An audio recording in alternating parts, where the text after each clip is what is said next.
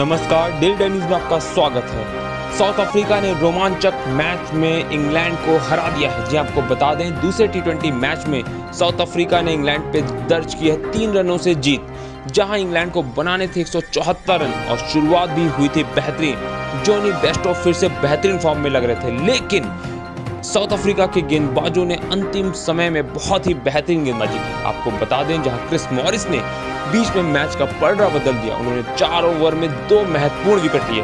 तो अंतिम समय में सेकंड लास्ट ओवर में जब पीटरसन ने इयन मॉर्गन को आउट कर दिया तो ऐसा लग रहा था कि साउथ अफ्रीका मैच आसानी से जीत सकता है। लेकिन डॉसन के अंतिम ओवर में मारे गए चौके के बाद मैच रोमांचक हो गया था। लेकिन फिलकाओ ने जो बेहतरीन बॉल फेंकी, उसके बाद लास्ट बॉल पे कोई भी रन नहीं बना पाई इंग्लैंड। ऐसे में वो तीन रनों से हार गई। इस हार के बाद अब सीरीज़ में दोनों ही टीमें एक एक मैच जीत के बराबर पे हैं। यानी तीसरा अंतिम मैच डिसाइड करेगा कि इस सीरीज़ का विजेता कौन होगा।